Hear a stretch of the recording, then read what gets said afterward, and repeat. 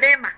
Extrema porque tú eres una persona común y corriente que no te dedicas a las magias, que no te dedicas a, a, saber todo lo que se tiene que hacer para poner una triada de veladoras negras.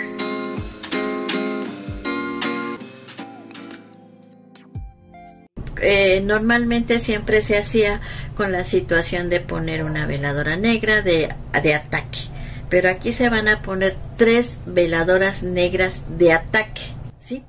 Me queda claro que si ustedes ya llegaron a este punto de poner tres veladoras de ataque negras para quitarse un daño, es que saben de sobra que el daño que les están mandando es muy fuerte.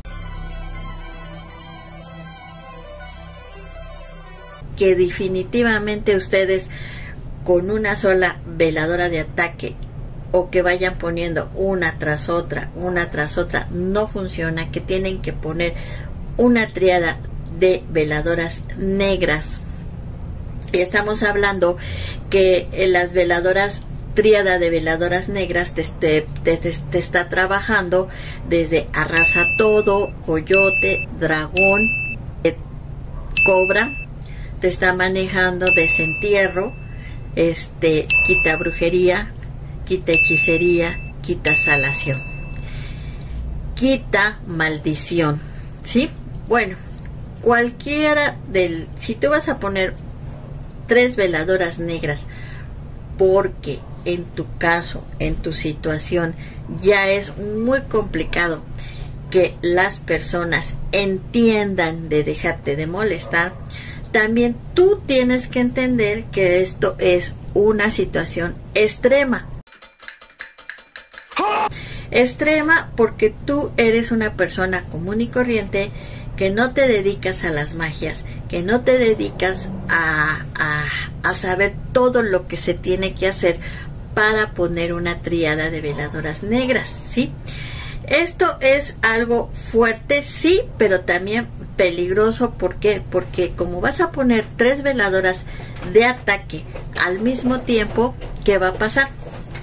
Pues ya, si poner una veladora negra, ¿sí? Ya te comenté todos los síntomas que puedes pasar. Ustedes se van a sentir mal, van a tener dolores de cabeza, se van a sentir este muy tensos, van a ahora poner tres veladoras negras, pues es mucho más riesgo.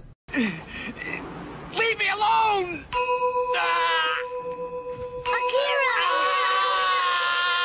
Aquí sí cabe señalar que tienes precisamente que buscarte un lugar que sea muy seguro.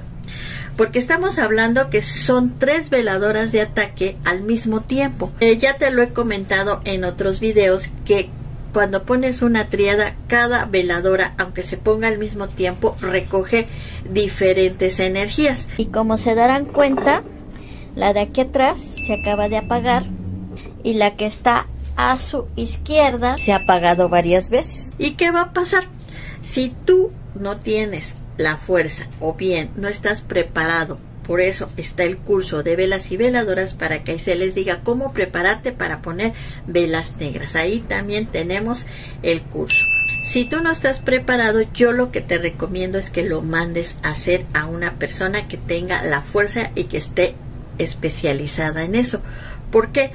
Porque definitivamente vas a mover muchas energías, en un, es un ataque muy fuerte y muchas veces si no tienes la experiencia eh, correcta, pues te vas a tener que quedar en el lugar a donde prendiste tus velas negras a cuidarlas. Si tú puedes estar cuidando tu triada de veladoras negras todo el tiempo hasta que se terminen, perfecto. Si tienes quien te las cuide, perfecto. Pero si no las tienes, mejor no las pongas. Bueno, todo esto yo te lo digo porque pues quiero que tú estés seguro de lo que estás haciendo y seguro de las energías que vas a manejar.